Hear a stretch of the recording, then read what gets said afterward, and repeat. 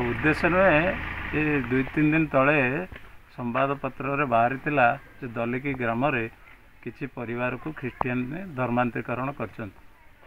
ଯେହେତୁ ବିଶ୍ୱ ହିନ୍ଦୁ ପରିଷଦ ସାରା ବିଶ୍ୱରେ ଧର୍ମାନ୍ତରୀକରଣକୁ ବିରୋଧ କରୁଛି ଆମେ ସେ ଖବର ପଡ଼ିଲା ପରେ ଆମର ଯେଉଁ ସ୍ଥାନୀୟ ସୁକିନ୍ଦା ପ୍ରଖଣ୍ଡର ଯେଉଁ ବଜରଙ୍ଗ ଦଳ ଅଛି ତା ସହିତ ଯୋଗାଯୋଗ କଲୁ। ଯୋଗାଯୋଗ ହେଲା ପରେ ଜାଣିଲୁ ଏ ଖବର ସତ୍ୟାସତ୍ୟ। ତାର ସତ୍ୟାସତ୍ୟ ଅନୁସନ୍ଧାନ କରିବା ପାଇଁ ଆଜି ଆମର ଜିଲ୍ଲା ସମ୍ପୂର୍ଣ୍ଣ ଟିମ୍ ଆଜି ଦଲକି ଗ୍ରାମ ପରିଦର୍ଶନ କରୁଥିଲେ ଏବଂ ଯେଉଁମାନେ ଖ୍ରୀଷ୍ଟିଆନିଟି ଗ୍ରହଣ କରିଛନ୍ତି ଧର୍ମାନ୍ତରିତ ହୋଇଛନ୍ତି ସେମାନଙ୍କ ପରିବାରକୁ ପ୍ରତ୍ୟକ୍ଷ ଭାବରେ ଭେଟିଥିଲୁ ଏବଂ ଜାଣିବାକୁ ଚାହିଁଥିଲୁ ଯେ କ'ଣ ପାଇଁ ସେମାନେ ହିନ୍ଦୁ ଧର୍ମ ପରିତ୍ୟାଗ କରି ଖ୍ରୀଷ୍ଟିଆନ ଧର୍ମ ଗ୍ରହଣ କରୁ। ହିନ୍ଦୁ ଧର୍ମକୁ ପ୍ରତ୍ୟାବର୍ତ୍ତନ କରିବା ପାଇଁ ଯଦିଓ ସେମାନେ ଚାହୁଁଛନ୍ତି ତାର ଯେଉଁ ପ୍ରକ୍ରିୟା ତ ଆମର ଆରମ୍ଭ ହେଇନି ଆମେ ଆଗାମୀ ଦିନରେ ଆରମ୍ଭ କରିବୁ ଏତିକି ଜାଣିବାକୁ ଚାହିଁଲୁ ଯେ ଯେହେତୁ ଏମାନେ ନିରୀହ ଆଦିବାସୀ ପରିବାରର ଲୋକ ଅଛନ୍ତି ତାଙ୍କୁ ଭୁଲ ମେଡ଼ିସିନ କିମ୍ବା ପ୍ରତାରଣା କରାଇ ଏସବୁ ଜିନିଷ ଧର୍ମ ପରିବର୍ତ୍ତନ କରାଇଛନ୍ତି।